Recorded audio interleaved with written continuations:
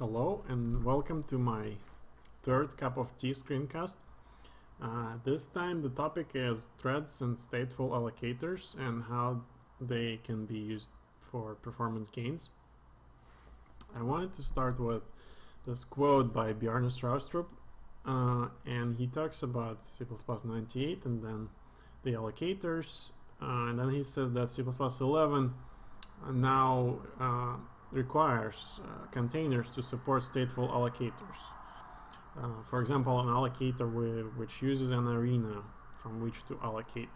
And that's what we're going to look into today. Uh, and we'll go I'm going to use the following problem to illustrate this.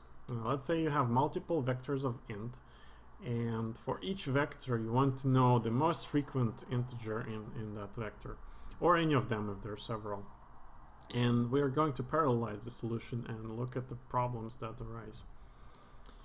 Um, so let's let's see what what I came up with here. Uh, I have the most frequent number function that just takes a vector and returns the most frequent integer from that vector. Then I have a wrapper for it which takes a vector of vectors and returns a vector of int. So there will be one. So there's one most frequent int from each of these input vectors. And this is simply uh, a loop, basically, which calls most frequent number uh, for each input vector. And we'll see why, why we need that later. And then in main, what, what I'm doing is I'm creating the inputs and I just randomly generate them. I use the same random seed. I generate a thousand vectors and each vector has 10,000 elements and then elements are just uniformly distributed.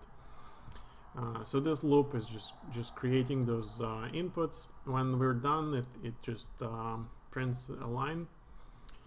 And the rest of the main is uh, starting the threads and joining them, just waiting for, for all of them to, to be done. I'm creating n threads, where n is 8 in this case. Uh, and then the work item for each thread is as follows the, we will measure the time it took to run most frequent numbers on the inputs. So actually every thread in this case will be working with the same inputs, the, the same random input I generated. But um, in reality, those may be you know, several different inputs, but in this case, it doesn't matter. We just want threads to do some work. And then it print the each thread when it's done, it will print how many milliseconds it took we start the threads and we then wait for all, all of them. Now let's quickly look in the most frequent number. This is the core algorithm. I'm using an unordered map, just a standard unordered map, to track uh, how many occurrences of each number there were. So uh, the key is the number and the value is the number of occurrences. And then I'm just looping through all of the numbers in the input. I'm trying to push them to the map if they're not there, then we start with zero. If they're there, uh, we just get the iterator from try_emplace. Then I increase the number of occurrences, and if that number was more than what we've seen before, then I um, memorize here the the the new count and uh, the the number that that was that that's the most frequently occurring number so far and then in the end just return the max number. So this is pretty simple. I will share the code so I don't want to go into too much detail here but let's run this code. Um, started generating so there's you know sometimes there's some threads are racing over the console but uh, overall there's about uh, 1500 milliseconds of work if uh, we run it again maybe we'll see you know some threads 1400 maybe some threads 1500 but uh, let's say 1500 was the was the average. I'll just put it here so that we remember. Now if we profile that code and I already already profiled it what we will see in the summary that uh, the the hot path actually it goes into some CRT base which I assume is the C runtime and it's pretty much just uh, the malloc call. It's the call to the malloc.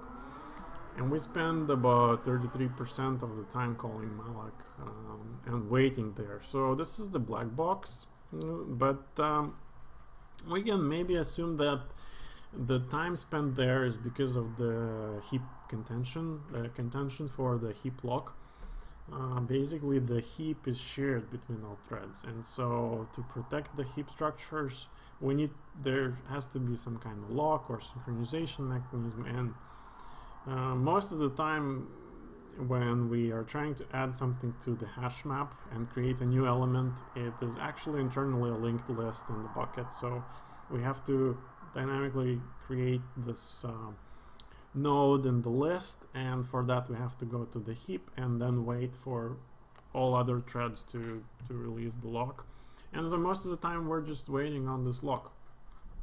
Wouldn't it be nicer to have a local thread heap and then allocate from, from that local heap and not wait on the lock? Uh, so that's what we're gonna do. Uh, I took Stack Allocator by Howard Hinnant, but uh, there are other libraries probably. I couldn't find quickly any other libraries, but probably I'm sure there are other on GitHub. If you know of any, please let me know in the comments.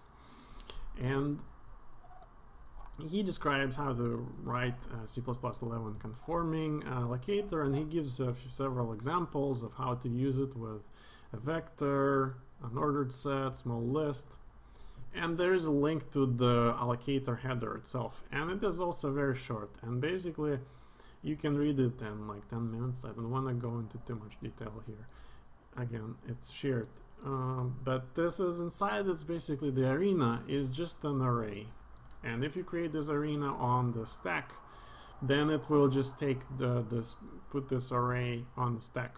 And there is a pointer which is just the allocation is just going through this array increasing the pointer, allocating, increasing, allocating, increasing. And when the pointer reaches the end of the array, um, the allocator just switches to the operator new. So if you if you read the allocate function there, it just just uh, falls back to to the normal allocator standard new. But uh, we're gonna try, and all we need to do here, I already have short alloc uh, in my solution, so all I need to do is include the header here and add four more lines just four lines. And I will need to comment out this uh, old map.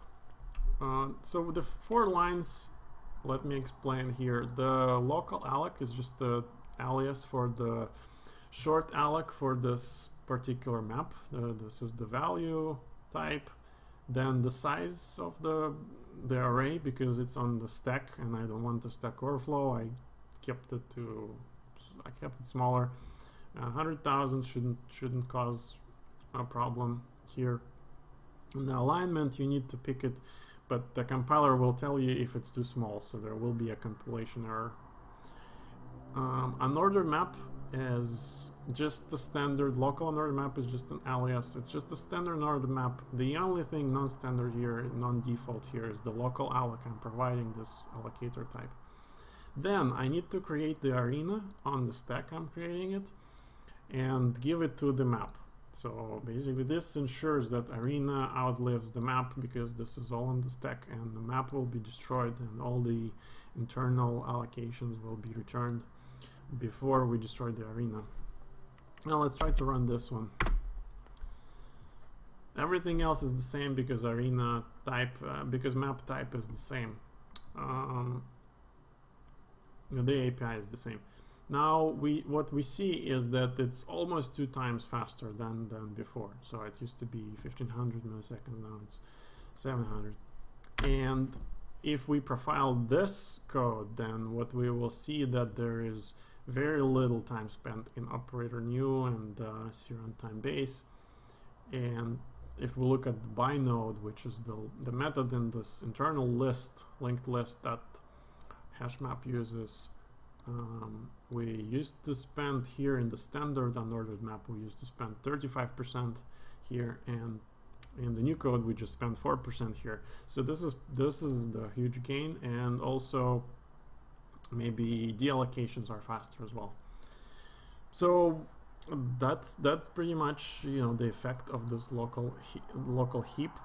The only um, two notes I want to make here is that there's probably other allocators, or you can imagine writing allocator which just creates this arena on the on the heap, and then you will not have this limitation. Or you can use a larger arena if you want, and obviously larger inputs will then uh, work fine. Another nice thing to have would be if you could check on this arena, well, were there any allocations outside the arena? And if there were no allocations outside the arena, then maybe it would be nice to tell unordered map that, hey, you don't need to actually clean the, the list because in this case, well, there were no uh, objects which need destructors. So we could potentially just abandon that arena and let the let the allocator let the arena take care of that memory. We just just abandon it it's on the stack. But uh, I couldn't find any standard way to do that unfortunately. So if you know let me know in the comments.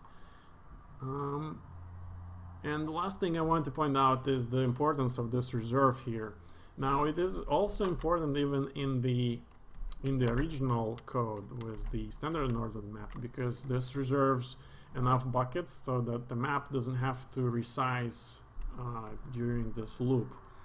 And each, each resize, some resize can be pretty expensive, um, but because it has to create new buckets and then rehash everything.